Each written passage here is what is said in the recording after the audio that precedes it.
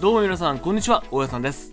えこの間発売されたプラマックスソフィア、こちらを塗装しておりまして、今ね、ここまで完成したんですけども、肌が露出する部分はね、これで全部なんで、この段階でね、肌もね、一工夫して仕上げていきたいと思います。肌を一から塗装する場合はいつもはねこの2色を混ぜて、え塗装するんですけども今回は成型色を生かして仕上げてみたいと思いますで成型色仕上げの場合はいつもはねこのウェザリングマスター H セットこちらを使うんですけども今回は新しく購入したこのラスキウスデコっていうやつをね使ってみたいと思います。これ色の種類は3種類ありまして今回ね購入したのはそのうちのマシュマロというやつですね。他の色はまた別の機会に試してみたいと思います。じゃあ早速使っていきましょう。肌は一旦艶消しして表面にザラつきを持たせています。そうしないと粉がね乗らないんでこういったツールを使う場合は艶消ししてから行うといいと思います。細かい部分に色をのせるときは使い捨てタイプの面相筆を使ってます。安くて質がいいんでこれ重宝してます。概要欄にリンクはまとめておきますね。じゃあまずはこの濃いめのブラウンをのせていきましょう。こういったねおへそとかねくぼんだ部分に色をのせていきます。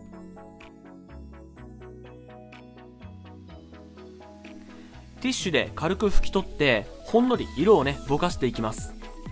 おなかなかいい感じなんじゃないでしょうか。今度はね腹筋のラインなど大胆に影をつけちゃいましょう。これもね、えティッシュで拭き取ってぼかしていけばうん結構これだけでも立体感がアップしますね。いい感じ。背中とかお尻もやっていきます。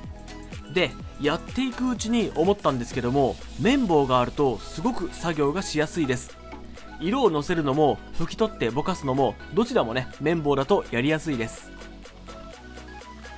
じゃあ続いてちょっと薄めのブラウンをさっきより広範囲に塗っていきます。で拭き取ってなじませてみると。いやあんまり変わらないかな。やってもやらなくてもこれはね、えー個人的にはいい気がします。えーこういった作業をね、えー胸とか他の部分もやっていきます。で一通り作業が終わったら一回ねえ艶消してトップコートしてこの状態を保存したら仕上げにピンクをのせていきます。えー先ほど塗ったねブラウンの上に重ねるような感じでいいと思います。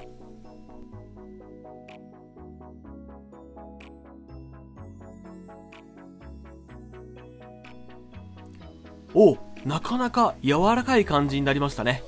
血色も良くなっていい感じです。でこちらのハイライトこれはどうなんだろう？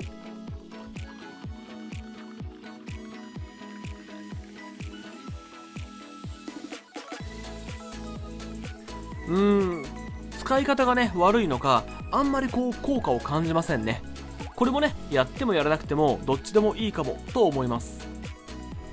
で艶消ししてトップコートして完成なんですが、えー僕個人の好みとして艶消し後に100均とかでね売っているメラミンスポンジ。